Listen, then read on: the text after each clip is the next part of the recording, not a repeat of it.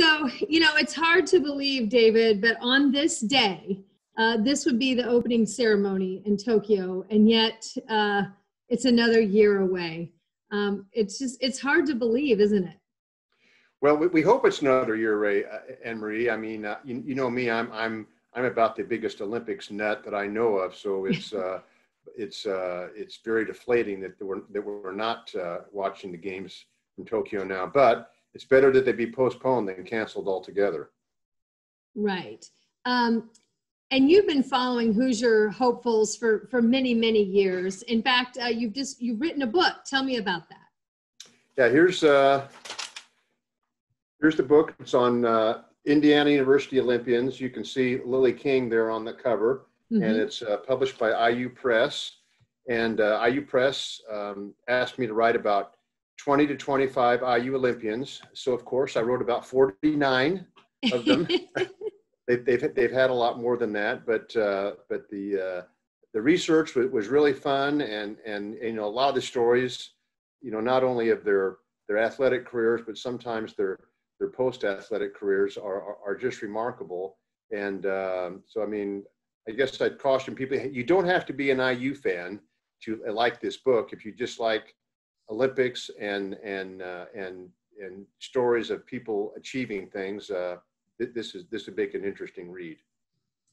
You know, I'm curious, David, when you were doing the research of these athletes and writing this book, did you find that they shared a common thread? Uh, that that's a good question. I think maybe just just so highly motivated. Uh, you know, motivated and driven. You know, I guess you could be too driven, and I guess even you know cause it causing harm to yourself. But but uh, and and in several of the cases, they had um, they had people who believed in them before they believed in themselves. So you know, I, I think that's probably an, an important uh, an important thing to be learned from from researching some of these Olympians as well. Um, so, how many Olympians do you profile in the book? And if you had to say who were your top top one or two to to research, who would it be?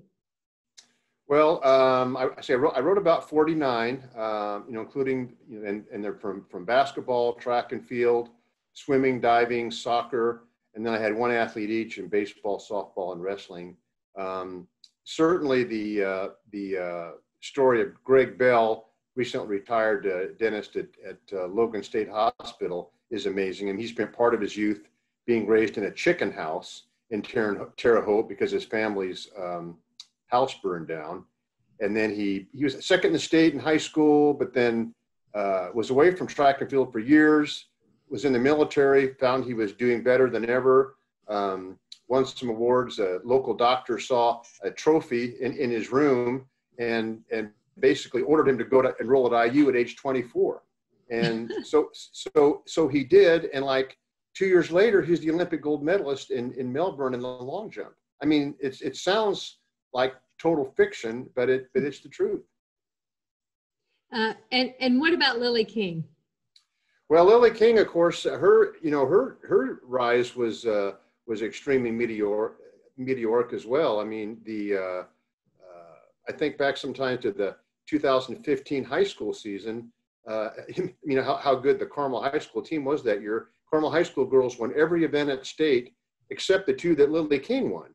But but this one thing going from the Indiana state champion one year to uh, world stage and Olympic gold medal the next, and and uh, you know she in a way kind of had humble beginnings. She she barely had enough room in her lane at her Evansville pool sometimes uh, to train, and she but she really thrived under Coach Ray Looze at, at IU, and, and of course is you know is probably one of the most uh, you know famous Hoosier athletes that we have in any sport as we're looking ahead to potentially the games being a year away, um, who are the Hoosier athletes that uh, you think uh, are best poised at this point uh, to have a place on the podium? Well, I, I think uh, Brownsburg cyclist Chloe Dygert could be a huge star. I mean, she could, to me, she could be one of the huge American stars of the uh, of the Olympics. You know, irrespective of sport.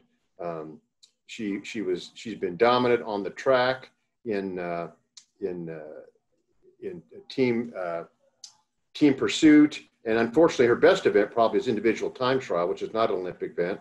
but then she easily won the the uh, time trial in the World World Championships. And I, I just think Chloe Dygert could be could be could be a huge deal. Um, you know, a, after that, it's a little bit indeterminate. I mean, I, I, Lily King certainly, and I think some other uh, I think some other IU swimmers could be there. Uh, Carmel has never had a swimmer on the U.S. Olympic team, and they have several candidates: uh, uh Drew Kibler, Amy Bilquist, uh, Jacob Mitchell. Um, you know, you know, all have a chance, and and uh, and of course David Boudia going for a fourth Olympic Games, which would just be extraordinary. Right, and and for him to completely change events too, to go from platform to springboard diving, you know. Yeah, you can say, well, he's still diving, but boy, it, it, it's a lot different. That's like saying it's like taking a uh, you know a catcher and uh, putting him in center field. Well, it's you know it's still baseball, still the same sport, but it's completely what he's doing is completely different from from his platform diving. Absolutely. Well, thank you so much for your time and your perspective. I mean, you've been just such a great source of information for me over the years as, you know, navigating our ways of uh, these Hoosier Olympians. So once again, tell me about your book um, and where people can get it if they'd like to see it. Yeah, it's called, it's called Indiana University Olympians from Leroy Samse, who actually was a 1912 pole vaulter, to Lily King. And it's, it's available on Amazon and, and you can get, get ordered online through the IU Press website as well.